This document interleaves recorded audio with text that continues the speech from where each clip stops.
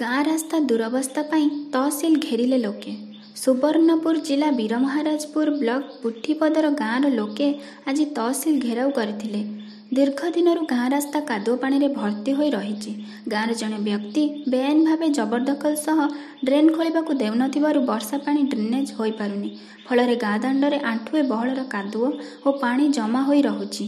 ଏନେଇ ବାରମ୍ବାର ସ୍ଥାନୀୟ ପ୍ରଶାସନ ଓ ପୋଲିସ ପ୍ରଶାସନକୁ ଜଣାଇଥିଲେ ବି ଫଳ କିଛି ହେଉନଥିବାରୁ ଶେଷରେ ଆଜି ଗାଁର ଶତାଧିକ ପୁରୁଷ ଓ ମହିଳା ତହସିଲ ଘେରାଉ କରିଥିଲେ। ଏନେଇ ତହସିଲଦାରଙ୍କୁ ଏକ ଦାବିପତ୍ର ପ୍ରଦାନ କରାଯାଇଛି।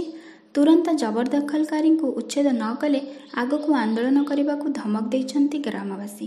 ସୁବର୍ଣ୍ଣପୁରରୁ ପ୍ରେମାନନ୍ଦ ନାୟକଙ୍କ ରିପୋର୍ଟ ଅଭୟ ନ୍ୟୁଜ୍।